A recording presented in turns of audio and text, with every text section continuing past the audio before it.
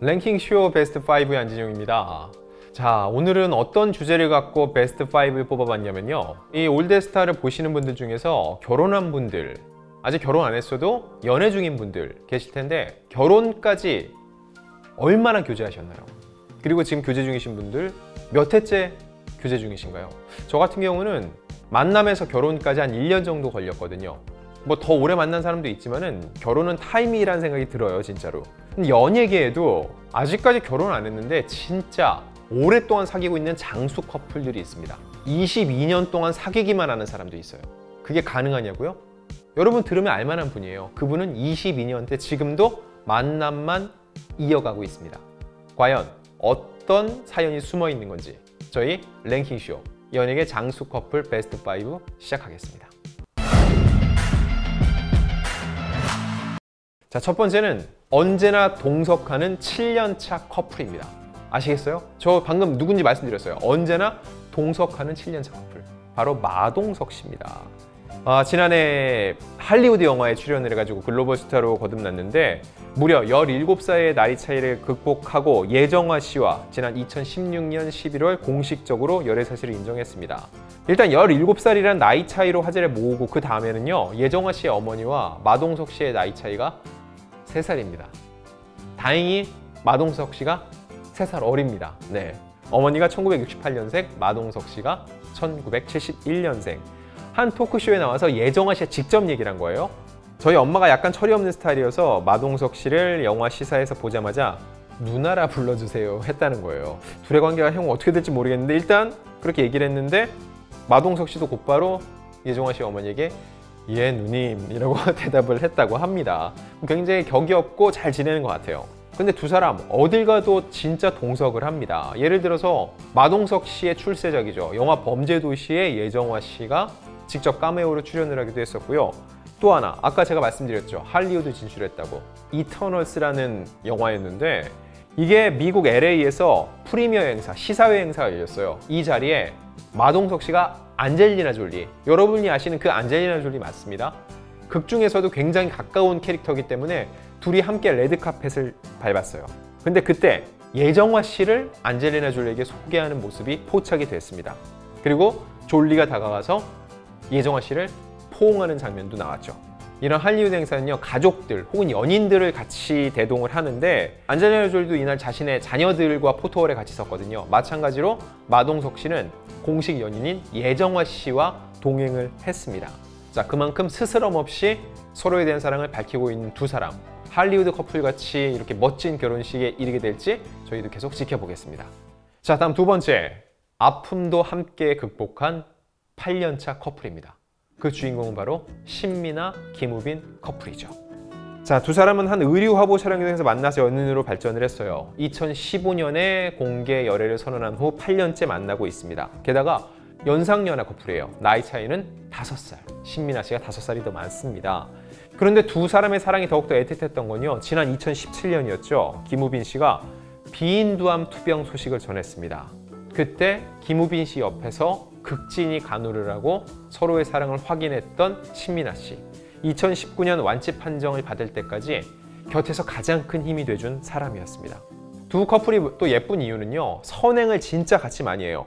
최근에도 산불 피해 돕기에 각각 1억 원을 기부를 했습니다. 보통 연예인 커플이 결혼을 했을 때는 누구누구 부부가 각각 1억씩 냈다. 부부가 합의 2억을 냈다라는 경우가 있는데 연인들이 각각 냈다고 이걸 묶어서 이해하는 경우가 많지 않거든요. 같은 소속사에서 그런 것도 있지만 그만큼 서로에 대한 마음이 깊기 때문으로 보입니다.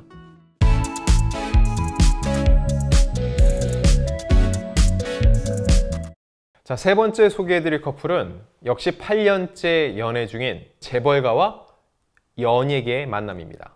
이쯤 들으면 다들 딱 떠오르시는 분이 있죠. 이정재 씨와 임세령 대상그룹 부회장입니다. 자, 두 사람은 2015년부터 8년째 공개 열애 중인데요. 두 사람은 오랜 우정의 친구 사이에서 조심스럽게 마음이 발전했다고 당시에 밝혔습니다. 사실 두 사람의 이 데이트 목격담은 꾸준히 흘러나왔어요. 2015년에 공개 연애를 선언하기 전에 2010년에도 함께 필리핀 여행을 다녀오기도 했었고요. 열애설만 무려 세 번 불거졌습니다. 그런데 줄곧 만남을 부인해 왔어요. 그런데 데이트를 즐기는 현장 사진과 함께 네 번째 열애설이 나왔을 때 그때 공식적으로 만남을 인정했는데 그게 바로 2015년입니다. 사실 두 사람의 첫 만남은요 이거보다 10년 빠른 2005년으로 거슬러 올라가요. 그때 지인의 소개로 만나서 이때는 정말로 소개, 남녀 관계가 아니라 지인이 그냥 같이 동석하는 자리에서 만났던 거예요. 그때 공통의 관심사인 패션, 부동산을 두고선 서로 굉장히 호감을 느꼈다고 합니다. 자, 베스트 2입니다. 이번에는 10년이면 강산도 변한다고 하는데 10년 동안 변치 않는 마음으로 사랑하고 있는 장수 커플입니다. 그 주인공은 대한민국을 대표하는 걸그룹 소녀시대 멤버 수영과 배우 정경호 씨입니다. 두 사람은요 지난 2013년 두 차례 열애설이 났을 때 부인을 했습니다. 그러다가 2014년 1월 열애를 공식 인정을 했어요. 2014년 1월이었지만 이때 인정을 한 거기 때문에 실질적으로 만난 거는 2013년부터 올해 딱 10년째가 되는 거죠. 두 사람은 중앙대학교 연극영화과 동문이기도 한데 가수로서 배우로서 각자의 역할을 굉장히 잘 유지해 왔고 수영 씨는 요즘은 가수보다는 배우로 많이 연기를 보여주고 있는데 이때 정경호 씨가 옆에서 많은 도움을 줬다고 합니다. 자, 두 사람이 워낙 알콩달콩 잘 사귀다 보니까 팬들에게 데이트 장면이 여러 차례 포착이 됐어요. 심지어는 방송에서 서로의 이름을 직접 언급을 하면서 변치 않는 사랑을 과시를 했습니다. 정경호 씨 같은 경우는요, MBC 드라마 미싱라인이 끝난 후 가진 인터뷰에서 여자친구인 수영 씨와 아직까지 단 한 번도 싸워본 적이 없다라고 직접적으로 언급을 했죠. 사실 이렇게 유명 연예인, 게다가 걸그룹 출신이 자신의 공개 연애를 이렇게 얘기하는 경우가 드문데 그만큼 서로에 대한 마음이 깊다고도 볼 수 있는 동시에 이들 MZ세대입니다. 그만큼 자기 표현에 강한 세대들의 특징이라고 볼 수 있고 오히려 이런 모습에 대중들도 환호를 하고 있죠. 자, 두 사람의 사랑의 원동력은 또 하나 있습니다. 바로 반려견. 수영 씨가 SNS에 공개한 사진에 반려견의 모습을 본뜬 케이크가 담겨 있거든요. 이 케이크에는 호영, 애봉, 오래오래 함께하자라는 문구가 새겨져 있는데 호영과 애봉 누굴까요? 바로 정경호 씨의 반려견입니다. 호영과 애봉 이름이 굉장히 특이하죠. 정경호 씨의 호, 수영 씨의 영 이름을 한 글자씩 따서 붙인 호영이란 반려견입니다. 그냥 일반인 커플 못지않게 공개적으로 이렇게 사랑을 드러내고 있는데 오히려 사람들이 이런 모습에 더욱더 지지의 박수를 보내고 있는 거죠.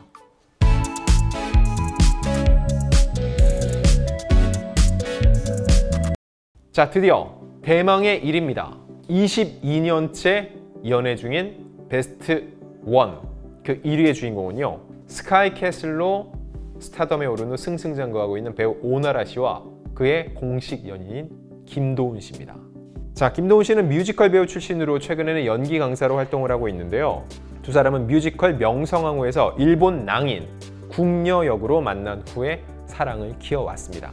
사실 일본 낭인 그리고 궁녀 명성황후라는 작품 안에서 그렇게 주요 배역은 아닐 때잖아요. 결국 굉장히 신인 시절부터 두 사람이 동병상련을 나누면서 지금까지 만남을 이어온 거죠. 오나라 씨가 이거를 숨기지 않았어요. 오나라 씨는 각종 방송과 언론 인터뷰에서 20년째 연애 중인 사실을 공공연하게 밝혀왔습니다. 많은 사람들이 아니 그런데 왜 결혼은 안 하지? 라고 궁금증을 가질 수밖에 없잖아요. 이때 오나라 씨는 얘기를 해요. 지금이라도 마음만 먹으면 결혼할 수 있다.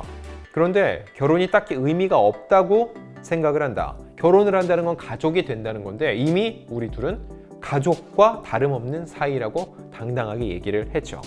20대 때 만난 사람이 어느덧 두 사람 다 40대 후반으로 접어들었어요. 이쯤 되면 사람들이 생각을 해요. 야, 이렇게 오래 만났으면 서로에게 너무 익숙해져서 진짜 너무 가족 같아서 어? 남녀 간의 그런 알콩달콩 이런 감정은 사라진 거 아니야 우려할 수도 있는데 3월 25일 굉장히 최근이죠. 오나라 씨가 출연하는 TVN 예능 식스센스가 있습니다. 여기서 오나라 씨가 남자친구를 굉장히 의식하는 듯한 모습을 보여줬어요. 유재석 씨가 물어봤습니다. 술 잘 마시냐고요. 이때 오나라 씨가 어, 잘 못 마셔요 라고 얘기를 했는데 이때 옆에 있던 또 다른 출연자 이상엽 씨가 얘기를 합니다. 아닌데 이 얘기는 오나라 씨 술 잘 마셔요 얘기잖아요.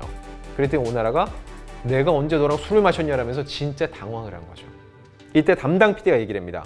아 남자친구한테 얘기 안 했나 보다 남자친구한테 다른 남자 출연자랑 술 마신다는 얘기 안 했나 보다 그러니까 이상엽 씨가 얘기했을 때 저렇게 당황했나 보다 라고 얘기를 했는데 무언가 조금 걸리는 게 있다는 얘기고 더 나가서 아직 여전히 많은 사람들의 우려와는 전혀 상관없이 이 남자친구에 대한 남다른 마음, 알콩달콩한 마음을 갖고 있다는 의미 같아요. 자, 이렇게 7년차부터 22년차 커플까지의 얘기를 한번 챙겨봤습니다. 자, 저희 랭킹쇼는요, 또 다른 흥미로운 주제로 다시 돌아오겠습니다.